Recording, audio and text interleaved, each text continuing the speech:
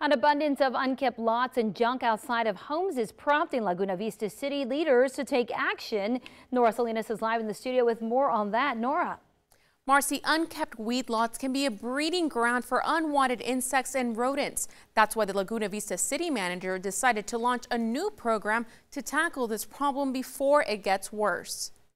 Most residents have become accustomed to a clean and quiet community in Laguna Vista, but lately high grass and unsightly property has become a problem. A few days ago I was driving around the community and it's like, wait a minute, all these weedy lots, uh, brush piles. Laguna Vista City Manager Rolando Vela says it's unpleasant sights like this that have prompted him to start a new program that will do a clean sweep of the area and make it safer. We don't want we don't want health nuisances.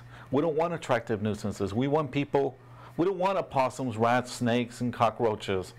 And so that's why we're asking people, let's, let's clean up our properties. City officials will drive around the city looking out for possible violations. Anybody that breaks a code will receive a letter or even a citation. Laguna Vista resident Victoria Mock lives in front of an unsightly abandoned lot. She's hoping the program gets it cleaned out. Laguna Vista is a very nice place to live, so I think any extra push to get the rest of the neighborhood looking good will work out all right. And it's not just an effort to beautify the town. As hurricane season approaches, Vela says it's imperative to make sure all drainage is free of anything that can cause clogging. There are some brush piles on ditches.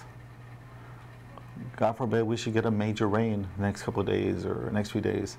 That's going to obstruct those, that drainage ditch.